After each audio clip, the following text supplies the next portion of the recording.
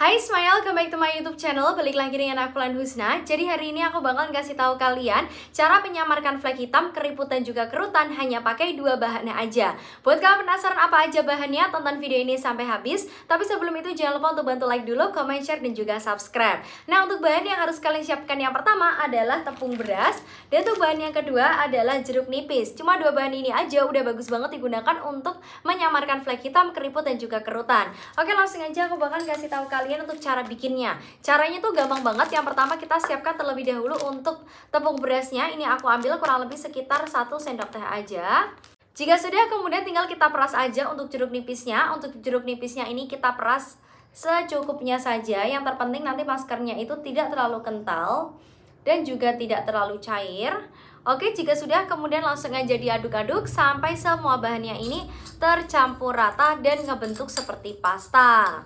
Nah, jika semua bahannya ini udah tercampur rata, langsung aja kita aplikasikan merata ke seluruh kulit kita. Bener-bener gampang banget kan? Tapi sebelum kalian mengaplikasikan masker ini di kulit wajah, kalian harus memastikan dulu kalau wajah kalian itu harus bener-bener bersih. Jadi sebelumnya kalian harus ngebersihin wajah kalian dulu dengan menggunakan milk cleanser ataupun micellar water. Kemudian mencuci muka kalian dengan menggunakan facial foam. Setelah bener-bener bersih, kemudian kalian pakai masker ini. Dan berhubung sekarang ini wajah aku itu udah bersih dan aku pun juga udah cuci muka, jadi langsung aja aku bakalan aplikasikan.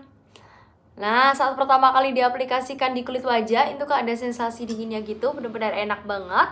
Dan untuk masker itu selain bagus digunakan untuk menyamarkan keriput kerutan serta flek hitam, dia juga sangat bagus digunakan untuk menghaluskan kulit, mencerahkan, bisa juga digunakan untuk membantu mengangkat sel-sel kulit mati, sehingga setelah kalian menggunakan masker ini, kulit kalian itu akan berasa lebih bersih, berasa lebih ringan, dan juga kelihatan makin sehat.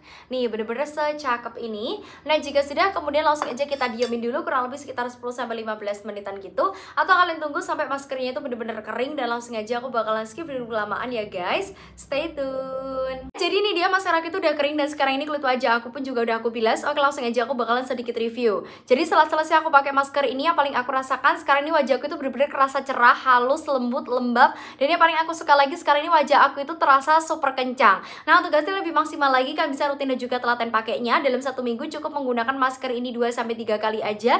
Dan masker ini bisa digunakan untuk semua jenis kulit termasuk untuk kalian yang kulitnya itu sensitif. Tapi untuk kalian yang memiliki jenis kulit yang benar-benar kering banget, kalian juga bisa menambahkan sedikit madu agar maskernya itu bisa lebih melembabkan dan juga menutrisi kulit kalian yang kering. Oke, jadi saja video dari aku. Semoga video kalian bisa bermanfaat dan juga bisa berguna untuk kalian semuanya. Dan buat kalian suka dengan video ini, jangan lupa like. Dan buat kalian mau request untuk video selanjutnya, bisa langsung aja komen di bawah. Dan jangan lupa juga share ke teman-teman kalian yang sebanyak-banyaknya. Dan jangan lupa juga subscribe channel aku ini ya guys. Tunggu video aku selanjutnya. Thank you for watching. Bye-bye.